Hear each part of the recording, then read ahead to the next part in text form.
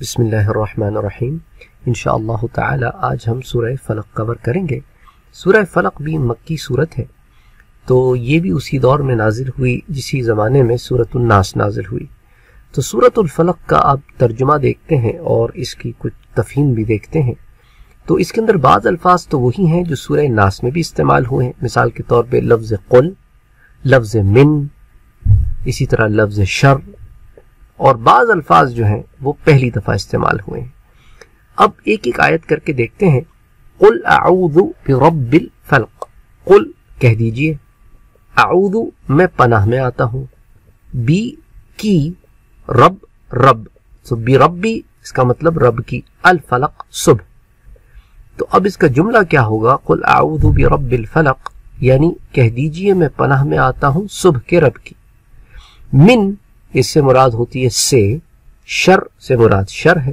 ما، جو اس نے خلق پیدا کیا یعنی اس کے شر سے جو اس نے پیدا کیا۔ من شرری ما خلق، اس کے شر سے جو اس نے پیدا کیا۔ و، اور، من سے، شرری شر، غاسقن، اندھیرا، اذا، جب، وقب، چھا جائے۔ اور اندھیرے کے شر سے جب وہ چھا جائے۔ و من اور سے شرری شر، النفاثات پھونکے مارنے والیاں، فی، میں، العقد، گرہیں۔ ومن شر النفاثات فی العقد، اور گرہوں میں پھونکے مارنے والیوں کے شر سے یعنی کہ یہ جو جادو کنٹے وغیرہ کرتی ہیں ان کے شر سے۔ ومن شرری اور شر سے، کس کے؟ حاسدن، حسد کرنے والے کے۔ اذا، جب حسد، جب وہ حسد کرنے لگے۔ تو اب ان آیتوں میں بعض الفاظ تو بار بار پلٹ کر آ رہے ہیں۔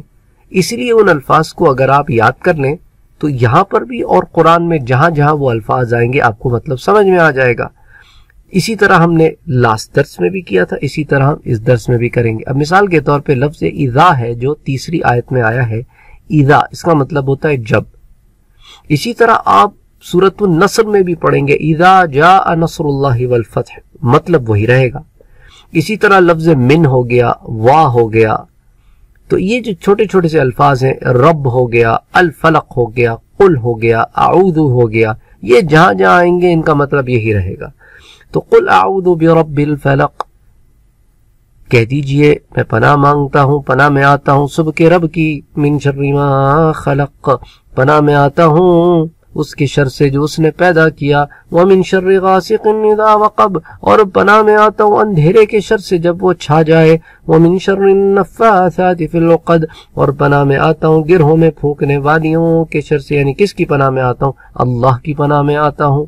اس لیے بھی رب شروع میں اللہ عز و جل نے بیان کیا، اور باقی تمام چیزوں میں پناہ اسی کی ہے۔ تو میں اللہ کی پناہ میں آتا ہوں، جو رب ہے کس کا؟ صبح کا۔ اور اس کی پناہ میں آتا ہوں ہر اس چیز سے جو شر والی ہے اور پناہ میں آتا ہوں اندھیرے کے شر سے جب وہ چھا جائے اور گروں میں پھونکنے والیوں کے شر سے، ومن شر حاسد اذا حسد، اور حسد کرنے والوں کے شر سے جب وہ حسد کرنے لگیں، تو ان تمام چیزوں سے میں اللہ کی پروٹیکشن میں آنا چاہتا ہوں کہ اللہ عز و جل مجھے ان تمام چیزوں سے محفوظ رکھیں۔ تو یہ اس صورت کے بیسک معنی ہیں۔ اور مفہوم ہے، تو پھر تفسیر جو ہے وہ بہت ڈیٹیل میں ہوتی ہے۔ تو اگر آپ ان الفاظ پر غور کریں اور قرآن میں پھر یہ الفاظ جہاں جہاں پلٹ کر آتے ہیں، وہاں پر انہیں اپلائی کریں، تو انشاءاللہ تعالی پھر بہت فائدہ ہوگا۔ وما علینا الا البلاغ۔